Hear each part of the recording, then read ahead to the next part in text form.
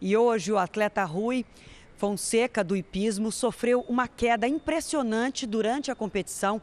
Ele assustou todo mundo por aqui.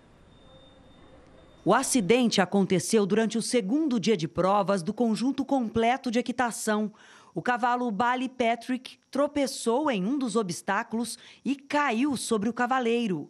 A imagem forte assustou quem assistia à prova. Rui Fonseca quebrou três costelas e o braço esquerdo. Ele segue em observação no hospital. O cavalo está bem.